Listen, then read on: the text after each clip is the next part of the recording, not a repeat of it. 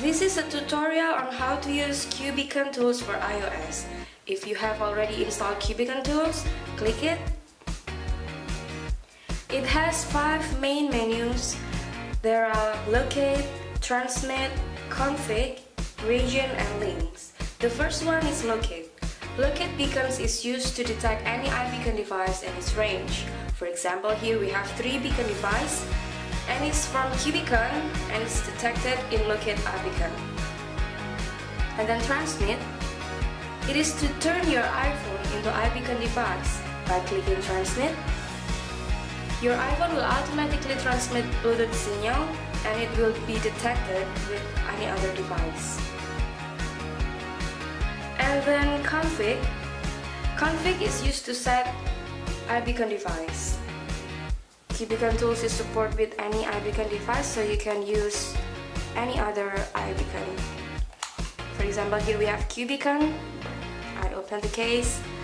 There are two buttons inside and push the button K2.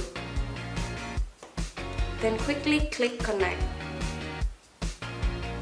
And then click beacon config.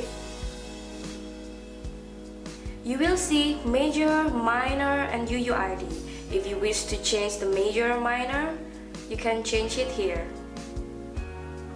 If you're done, click done and save. Okay, don't forget to click disconnect. The fourth is region.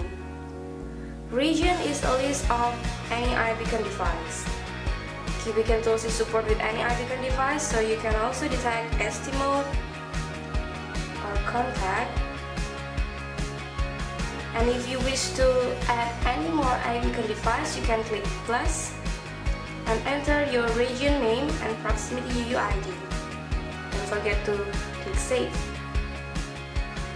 and then the last one is links it is where you can buy Cubeacon online or develop your mobile apps. You can also follow us on Facebook, Twitter, LinkedIn, or any other channel.